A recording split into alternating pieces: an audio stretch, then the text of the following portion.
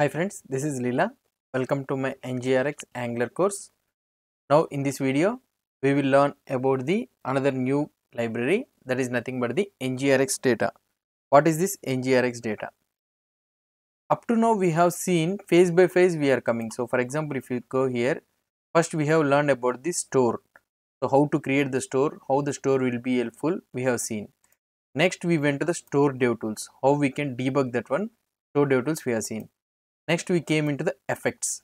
Effects means nothing but how we can handle the asynchronous things. So if you are uh, if you want to do if you want to can't communicate with the external thing and want to store the data in the asynchronously http calls how we can define we have seen. In the store we have seen about the actions reducers and all those things and the effects we have seen. And next we have seen about the router store. What is this router store? So in order to handle the router based parameters and all those things in the effects and also in the store we have seen the router store. Next we we went into the entity. Entity is nothing but if you want to do the crud operation for a particular entity entity means nothing but one post domain models. Okay you are having one domain models category subcategory post products uh, whatever the data you'll be having. So that is nothing but entity. Instead of writing these all actions reducers and all those things so we have seen the adapter thing. So that it using the adapters using the adapter we will be able to update the data and everything will be taken care. So writing the less code. Now coming to here we are learning about the ngrx data. What is this ngrx data? Ngrx data up to now we have seen what we can say is it will still furthermore simplify the simplify the entity thing. So ngrx entity will simplify for us with using the adapter using the reducers logic it will decrease but ngrx data what it will try to do is there is no need for us to write to initialize the store to write the effects to write the reducer to write the actions. There is no need to write create all these files. Everything ngrx data will be taking care. Okay? But what i can say is simple crud operations we will be able to maintain the crud operations. Everything ngrx data will be taking care. For example here if you are able to see ngrx data is an extension okay? It's not it's an extension only. That offers introduction to the without knowing about this uh, ngrx or anything simplifying the management of the entity data. Entity data it will simplify this one. So for example if you want to do the basic crud http get put post and delete methods these all the methods will be we, we, with using this ngrx data without writing any single line of code. So that means not single line of code without able to touch about the store effects entity libraries everything so there is no need to write about these actions action creators reducers effects dispatchers selectors. There is no need to create the files and there is no need to create these things. Without creating these all the things ngrx data will be taking care okay? So then you will be wondering so then why to learn these all the actions reducers and all those things? Those are the fine granular what we can say grip for you for grip of the each piece of the code so you will be learning that one. So ngrx data what it will try to do is it will try to give without these all the things it will be doing ngrx data will be doing but you will don't have that much of control over the entity okay? So now what we can say is for example you will uh, for your application you will be having 10 or hundreds of entity types. That means category subcategory post tags everything uh, comments these are all entities. So you will be having tens or hundreds of entity types like this.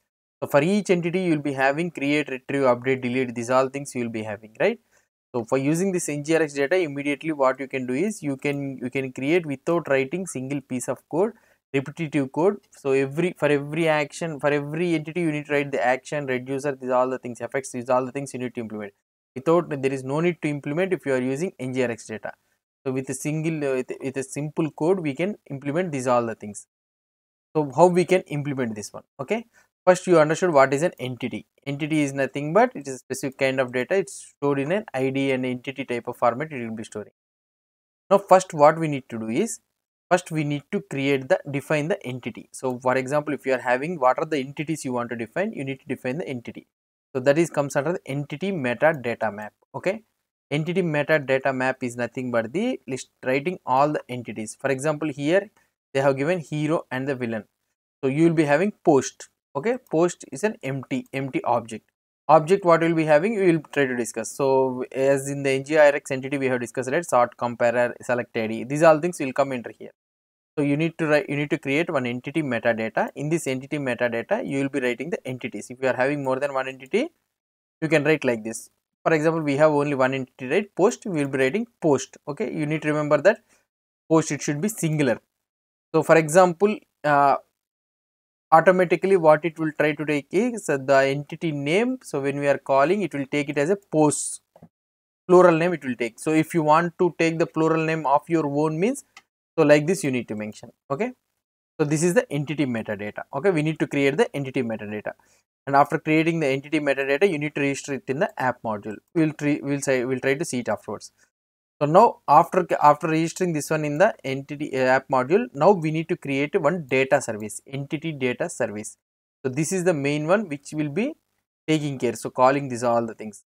NGRX data now here what it will try to do is it will try to create retrieving updating delete data on your server. These all the things will be taken care by the entity data service. So just it is a just a basic service only. Here you will be able to see that export class hero service they have created one service. This is nothing but the entity data service only. It, it should extend entity collection service base okay of type hero. So now here it should be it will be having one constructor. So it should be of entity collection service elements factory. And this entity, entity collection service element factory it should be passed to the entity collection service base okay? So this is how you need to create the server. That's it that's it service. You need to create the service and in the component you can use this service hero service directly and you can make use of these all the things. Okay? So this is the basic introduction of the ngrx data. So now what is the use of this one? So for example so we have already seen right? So now we in with ngrx data you will be able to, you can develop large entity models quickly with a very little code. And without knowing much about ngrx at all yet all of ngrx remains accessible to you and when and if you want it okay? So if you if you doesn't know the ngrx and all those things also ngrx will be available everything without creating anything. Ngrx data will be taking care okay? So this is the main thing. So you need to remember two things entity metadata map and also the entity data service okay? So these are the two things which will be responsible for the ngrx data. So let's try to do some basic CRUD operation for the post uh, as usual we will be having one our post module right? We will try to create one basic ngrx data. So by that uh, we, so that you will be able to understand how to use this ngrx data. So this one is not that much of important but i will show you. But you need to have much grip on the ngrx store ngrx effects router store ngrx entity. These are the four things which are mostly useful. Out of those things ngrx store and the effects are the most important thing okay? So these are all dependent on those things only okay? So this is about the ngrx data. So in the next video we will try to see the practical implementation how we can make use of this ngrx data and we can implement the basic CRUD operations we'll try to see. Okay? If you have any doubts or any suggestions please post the comments below to this video. And if you like this video please do support me by subscribing to my channel. Thank you